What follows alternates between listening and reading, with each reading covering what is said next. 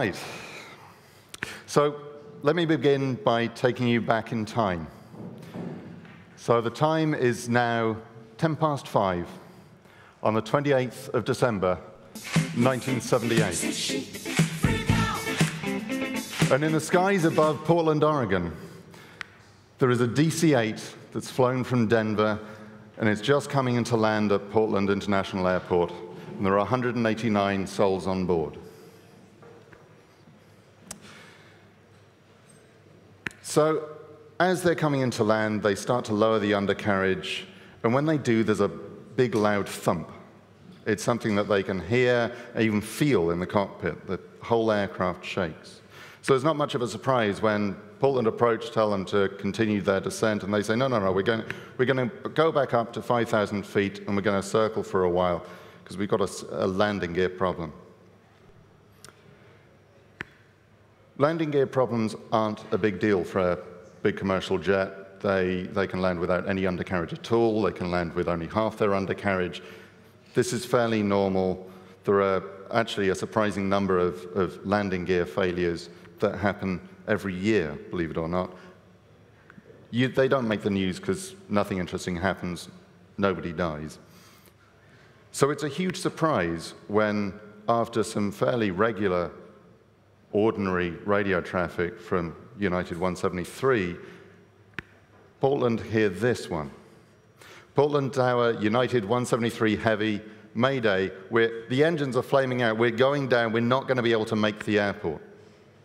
And just a few seconds later, they impact power lines near Northeast 158th Avenue and East Burnside Street. That's downtown Portland, very close to the real-time conf hotel, actually. That's what it ended up looking like. Um, amazingly, only 10 people died, uh, although 24 were ser seriously injured. Most of that was because they hit a tree.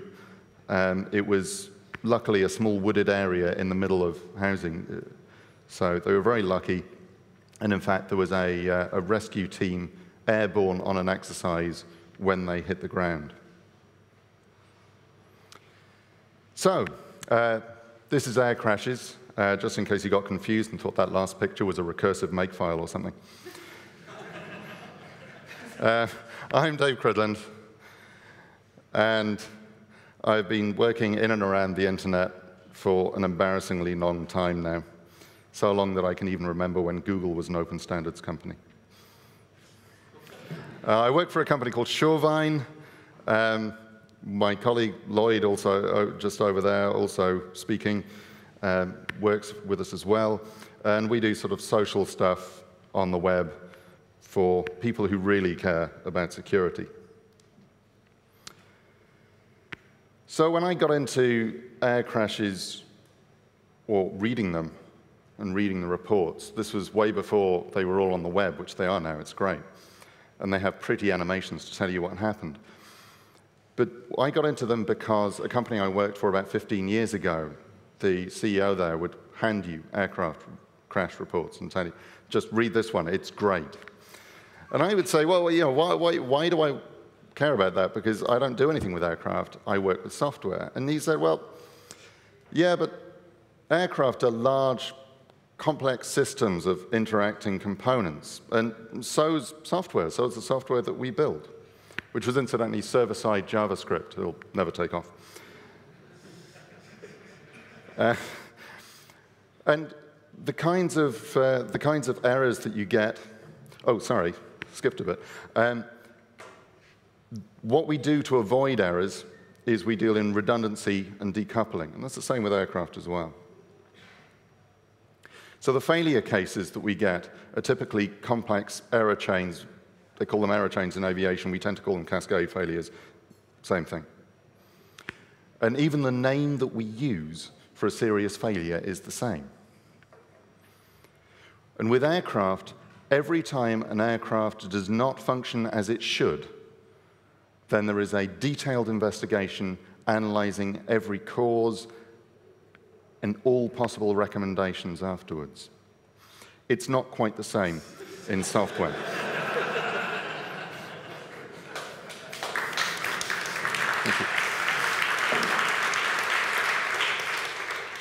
So I've read, uh, I've read dozens of accident reports and summaries, and actually, I'm still not scared of flying.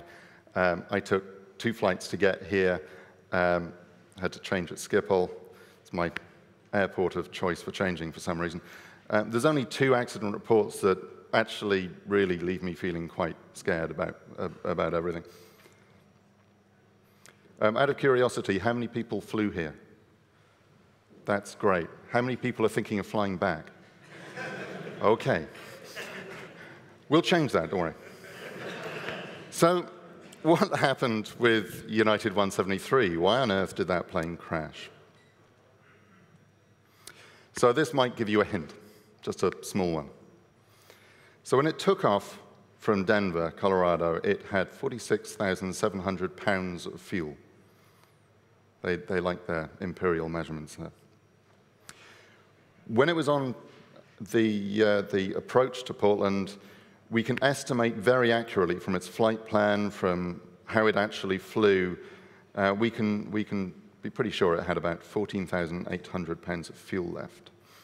Uh, we know that because its undercarriage was down, the flaps were down, it was circling at 5,000 feet. We know that, that all of that is not very optimal. So we know that it's burning about 220 pounds a minute. And that's borne out by the flight engineer report at about 1738. And the flight engineer is a third, a third flight crew member. They don't often have them on modern aircraft, actually. Uh, he sits behind the pilots. He's got a bank of instruments in front of him. He's got the full readouts of everything.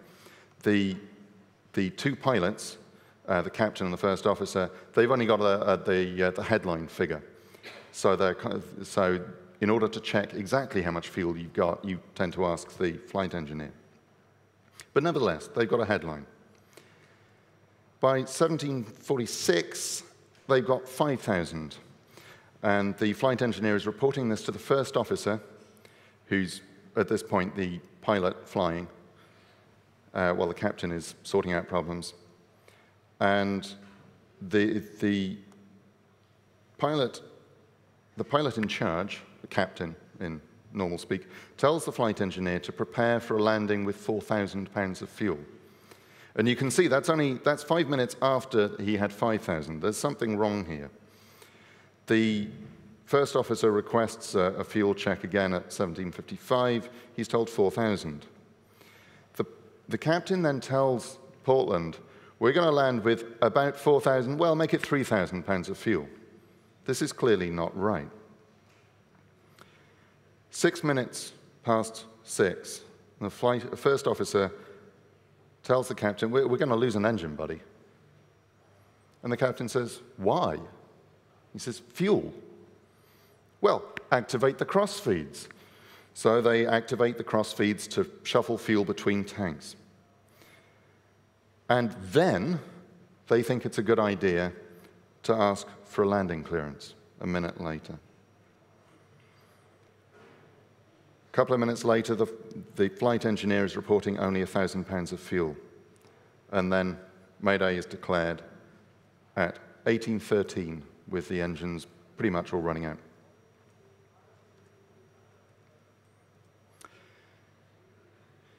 The report basically said this accident exemplifies a recurring problem with management of crew resources. And this was an odd phrase to use. And the blame was assigned purely to the captain, who was stripped of his pilot's license, and as far as I know, never, never recovered, never flew again. Um, the contributing factor was given as crew failure. So they're not saying the landing gear was a problem, they're not saying the fuel was a problem, they're saying this is a crew problem. This is rather unfortunate, as the flight engineer in question, Forrest Frosty Mendenhall, was one of those killed in impact. Before I go on to relate it to the other crashes which this is referring to, it's um, as a top aircraft safety tip. Does anyone know where the safest place to sit in an aircraft is? Because it turns out that it's the passenger seats. If your crew your, your odds aren't good when you, hit, when you hit a crash. You're much more likely to die. Be a passenger, it's much better. So, the related crashes, which are all very, very similar, Uh, there's a 1963 Tupolev 124 crash into the Neva River. Um, what happened was there was a landing gear problem on takeoff, in fact. They couldn't retract it properly. So they decided they would uh, circle round to use up fuel. This is in the days before aircraft tended to dump it. And um, they simply looped too many times, ran out of fuel, landed in the Neva River uh, with amazingly no casualties. They, uh, they didn't even evacuate the aircraft, they just towed it. It's great. Um, 1969, Scandinavian uh, 933, a landing gear problem. They failed to watch the altitude, crashed short of the runway, 15 people killed. 1972, uh, Eastern 401, very famous crash uh, for aviation crash buffs like me. Um, landing gear problem, they disengaged the autopilot by accident, uh, causing uh, 99 fat fatalities when they crashed into the Everglades. And then the big one, the Tenerife airport disaster. So the, we're now back to the 27th of March, 1977. I'd never heard properly the opening lines to ABBA's Knowing Me, Knowing You before, but they seem particularly poignant for this. Um, all the songs, by the way, uh, were number one at the time that, uh, at, at the time in question. So it's about six o'clock in the evening, and we're at an airport called Los Rodeos in Tenerife. Um, the airport name has now changed, by the way, to Tenerife North. Uh, what you find is that flight numbers tend to get put out of service when there's a big crash on them. And it turns out that they do this, they did this with this airport as well. In fact, they built a whole new airport. This is a cascade failure. It's a, a chain of errors leading to a final, a final fatal disaster. It starts off with a bomb that explodes in Las Palmas, the airport on Gran Canaria. Um, it was actually done by uh, Canary Island separatists protesting against the Franco regime, which was just still in at that point. Franco actually dies later that year. Um, there was another bomb warning given, although there wasn't, in fact, another bomb. So they closed the airport and diverted everything in flight to Los Rodeos, which is a much, much smaller airport. Los, Rodeos has an interesting problem. It's a relatively high altitude air, uh, airfield. It's at 2,000 feet or about 600 meters. So it has a problem with dense low cloud occasionally sweeping across the airport. And it had this at the time. They also had an unusual amount of traffic. Normally they wouldn't see very much international traffic. Now their entire airport is full. The two aircraft in question are the KLM flight 4805 with 248 people on, and Pan Am 1736 with nearly 400 people on. Uh, these are both Boeing 747s. They've both flown internationally. So, uh, and I, for attribution's sake, I pulled this, uh, pulled this diagram off Wikipedia and adjusted it to fit. But this is, um, this is basically what happened. The KLM flight was, was uh, first in the queue to take off. In effect, it was blocking all of the others. Uh, the apron there, that's where the aircraft park, it's where the terminals are, things like that, that was completely jammed full of aircraft. So they couldn't use the normal taxiway that you, that you see that runs across the, uh, across the top there. So the KLM flight is first to take off, does what's known as a back taxi. It runs down to the end of the runway, turns around, and is ready to go. And the Pan Am follows it fairly quickly afterwards uh, with the intent of turning off once they got past the apron.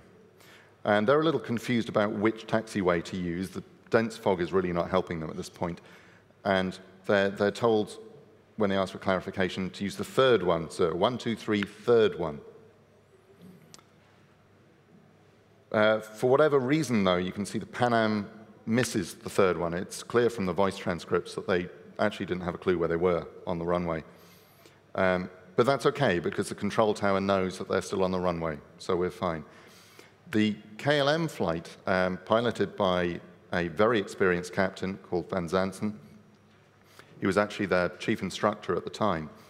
Um, he actually gets to the end, he gets lined up, and he starts moving the throttles forward. And his first officer says, wait a minute, we don't have ATC clearance. That's air traffic control clearance, which you get before takeoff clearance, by the way. So he says to, uh, to go ahead and ask. And so they, uh, they ask, the tower gives them the clearance. ATC clearance, this is not takeoff clearance. And so they repeat the instructions back. And now what happens is something that's really quite seriously horrible. Because the tower responds with OK, and what you're seeing there is the, the normal type is what both aircraft can hear. Due to radio interference, though, only Pan Am can hear the stuff in italics. Except you guys probably don't call it italics, you call it M or something. But so they hear, the KLM flight simply hears OK, which is non-standard, but whatever. They don't hear, stand by for takeoff, I will call you. They don't hear the Pan Am response of no, uh, and we're still taxiing down the runway, the Clipper 1736. They do both hear uh, Papa Alpha 1736 report the runway clear. I don't know whether the KLM crew thought that this meant that they had reported the runway clear, that the tower was reporting the runway clear. Tower never calls the Pan Am flight Papa Alpha at any time other than this one message, so it could be confusing. Either way, they push forward the engines.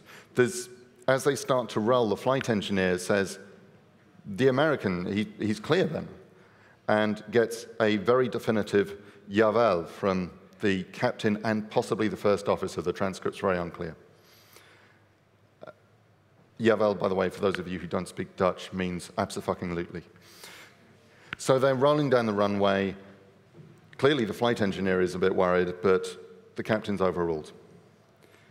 In the Pan Am flight, they can't see each other, remember, we've got dense cloud. Suddenly, they start to see the lights wobbling uh, down the runway. And he says, There he is. God on, that son of a bitch is coming. So they try and pull the Pan Am flight off. They turn it, engines on full, in a rather unusual maneuver in a 747. They're not meant to corner that fast. And tries to get into to the exit four. As the KLM flight rolls down, they call V1, which is the point, if you've, if you've been in an aircraft, that was a stupid thing to say. As you're rolling down, you know at that point where the aircraft is now rolling fast enough that they can tip back, do uh, what they call the rotate. That's, that's V1. So they're, they, they're at V1 at this point. That means that they, their nose is pointed up, which means that they can no longer see the runway as clearly. But they still can see it, and the captain sees the Pan Am flight at the last minute.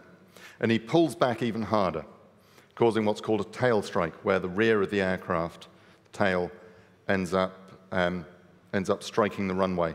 And it gouged a big hole in it, in fact. And he manages to get it just about airborne. But the KLM flight is full of fuel. They refueled before departure at Los Rodeos, and it cannot quite clear the Pan Am flight. So you get this, this impact. And this is what the, uh, the CVR transcript says, just exclamation expletive. That's actually the last that anyone will hear from the KLM flight. It impacts um, more or less breaking apart uh, all the way down the runway.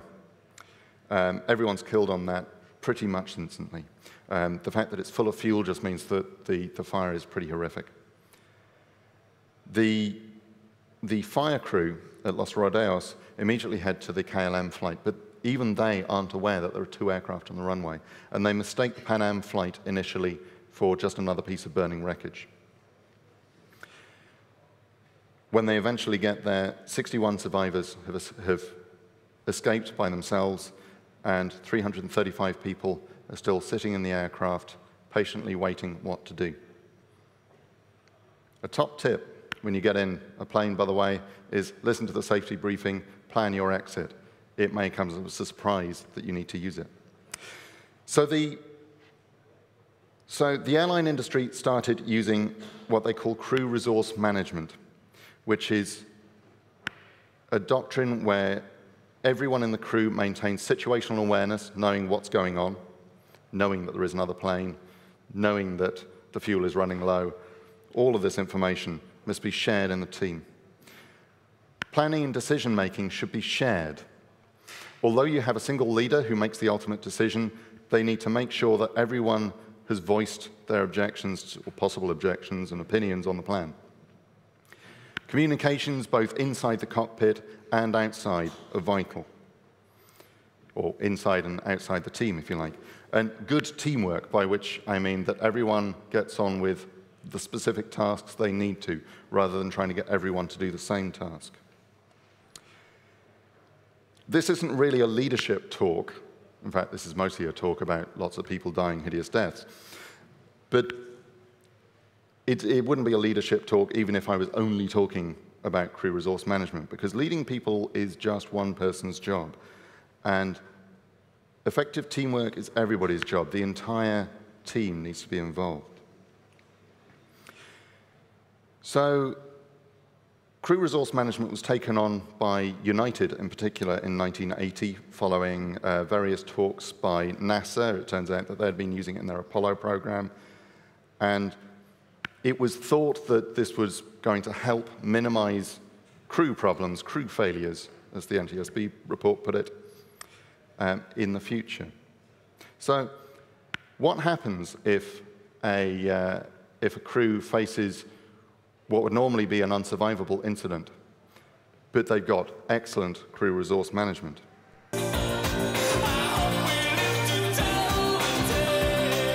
So this would be United 232. On the 19th of July, 1989, at just after quarter past three in the afternoon, um, near Sioux City, Iowa, a DC-10, that's a three-engined airliner, the significance of which will become apparent in a minute, was flying from Denver to Chicago with 296 souls on board. An unusual number of these were children because it happened to be United's Children's Day special. And at just after quarter past three, after an uneventful climb to altitude, the rear central engine blew. The fan, the main turbine disc, in fact, um, shattered into several pieces, and the pieces went through the tailplane assembly. What that left United, United 232 with was two problems. Firstly, the aircraft had a marked tendency because of the damage to turn to the right. Left alone, it would simply flip itself over completely. You don't want to do that in a, in a jetliner. However, that on its own is not a major problem because you've got the aircraft's controls to compensate, move it back on track.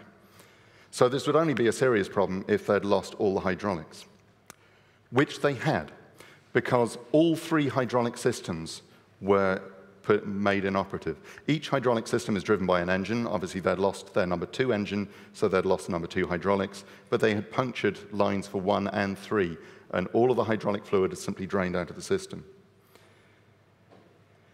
So the flight engineer, Dudley Dvorak, on the radio, in fact, to United Maintenance, says, this is United 232. We blew number two engine. We've lost all hydraulics, and we're only able to control uh, level flight with the asymmetric power settings. We have very little rudder or elevator. In fact, they had no rudder or elevator or ailerons or flaps or speed brakes or even the little brakes on the wheels to slow them down should they ever land. Um, the maintenance then had a really, a really interesting and amusing conversation, which basically went something along the lines of, oh, you've You've lost number two hydraulics, but you've still got one and three, right? No, no, we've lost all three. Oh, you've lost number three. Oh, that's okay. You still got one and two, right? It took them a long time to realize that what they'd done was lost them all. This was calculated as being a 10 to the 9 to 1. It's 1 billion to 1 chance. And so the United have checklists for all eventualities except this one. It's deemed impossible, and it's deemed unsurvivable. Uh, the captain, Al Haynes, saying, okay, we're trying to go straight, but we're not having much luck. The crew immediately sorted out the engine problem itself, the initial problem. They shut down the engine within 14 seconds. Um, it was then that they realized that the plane wasn't reacting, and they started talking all through themselves about every single operation they were doing.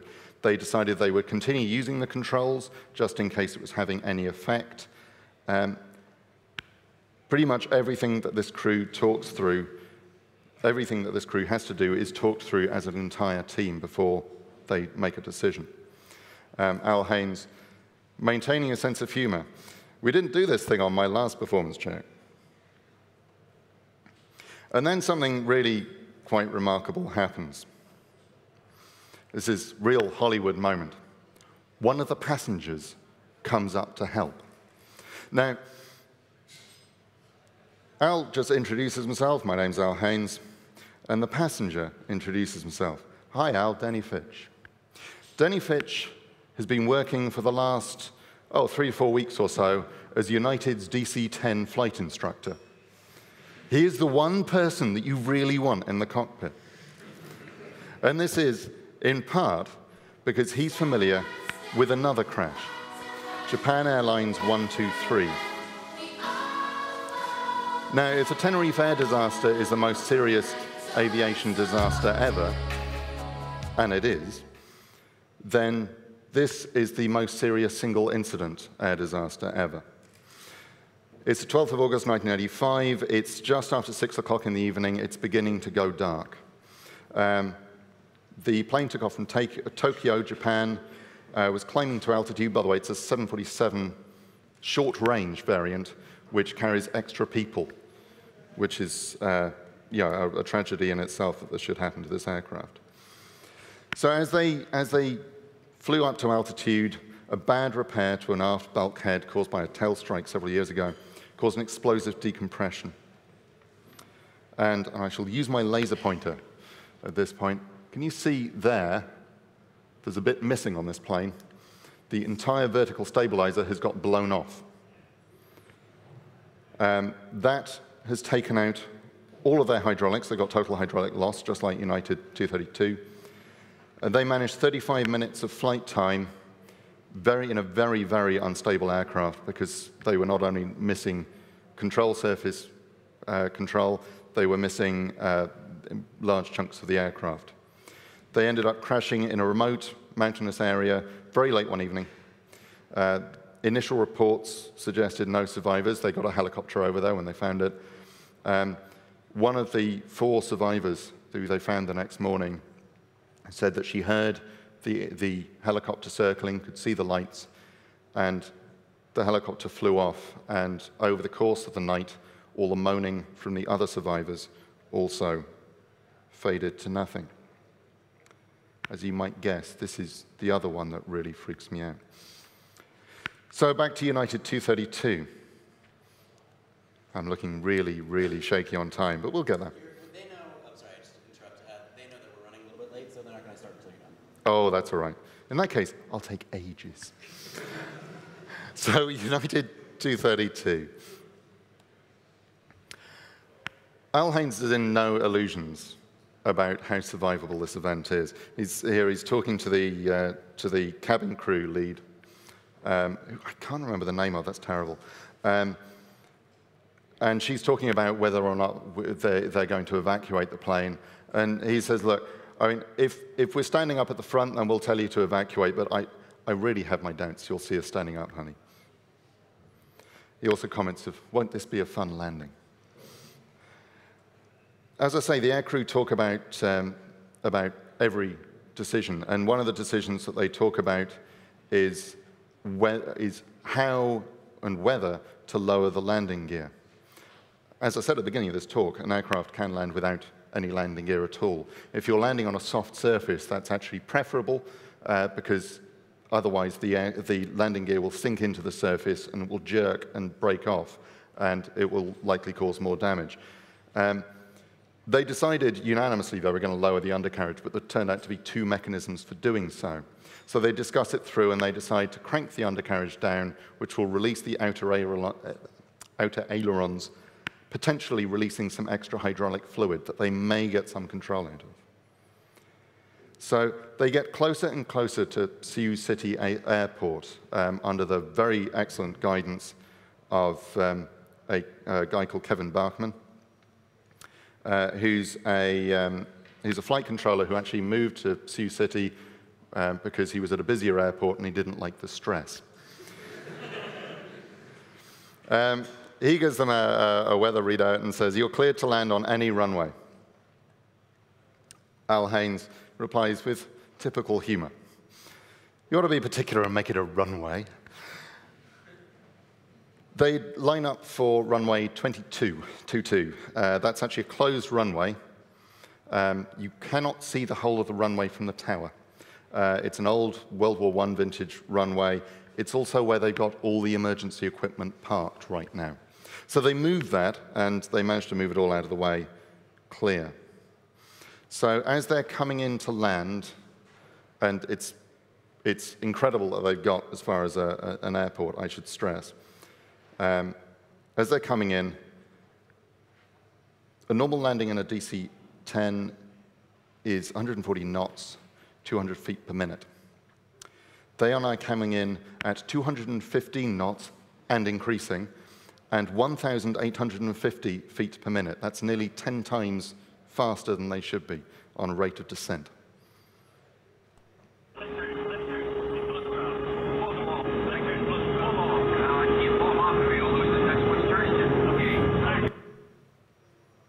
Oh, is that going to fail? See, I shouldn't have controlled it with JavaScript. Let's, let's try that again, sorry.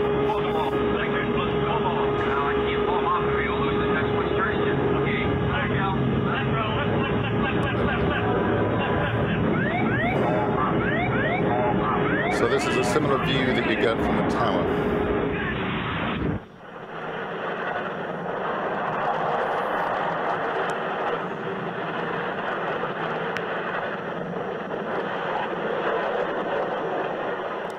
So Kevin Bachman sees roughly that from the tower, and in his own words, he went down the stairs and had a little cry. But amazingly, there were survivors. Um, although 112 were killed, or 111 according to the official report, there's a complication with how you measure fatalities in air crashes. Um, but 111 were killed instantly, one was killed just after a month. Um, a third of these were due to smoke inhalation, but amazingly, 184 survived. That's almost two thirds. Um, there was a, a deadheading um, United captain in first class, who was one of the very few survivors from first class uh, who actually climbed out of the window. And when told, but you can't climb out of an aircraft window, he said, oh, yes, you can. um, when the flight lands, you can't really see this, but it, it comes in, um, the right wing tips at the last minute, and they couldn't control this, unfortunately. And so the right wing hits, uh, that tears off, spills fuel everywhere, everything ignites. The tail breaks off, causing the aircraft to flip up, it bounces along the runway, loses the entire cockpit assembly, then starts breaking apart. The, it, it looks like it cartwheels, and the initial news reports say that, but actually it's the left wing flipping over, so the whole thing is now upside down. Um, the passengers helped the crew, the cabin crew, as much as the cabin crew helped the passengers. Uh, some of the cabin crew were strapped in in a full, full point harness, as they are, and unable to actually release themselves. Um, one passenger, having got himself out of a hole in the side, uh, went back in because he heard a baby cry, and eventually found the baby had been thrown into the overhead luggage bins. But if you're like me, you really want to know what happened to the, to the crew.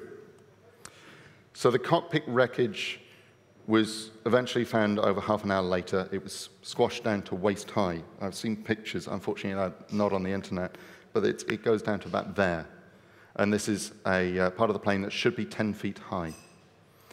They found it, though, because the flight engineer, uh, Dudley Dvorak, had his arm stuck up through some of the wires and things that was there. So they realized that there were, in fact, people inside that.